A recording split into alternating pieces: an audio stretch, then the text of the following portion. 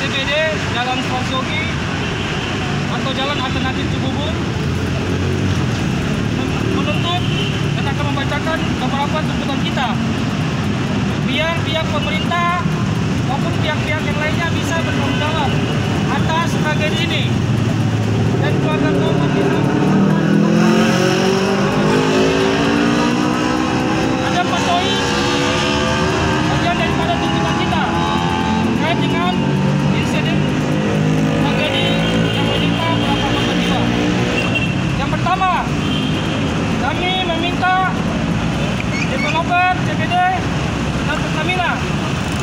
memberikan santunan atau ganti rugi kepada korban dan keluarga korban tragedi traffic traffic light dan unsur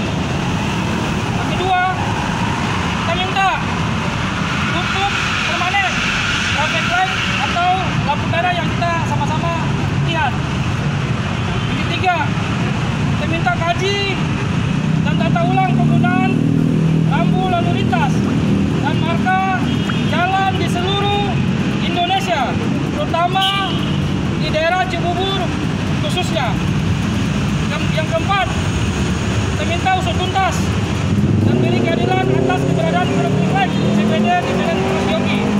Dan kita minta Mabes Polri untuk melakukan tim investigasinya. Dan memanggil pihak-pihak yang terkait yang terlibat dalam pemasangan traffic light atau lampu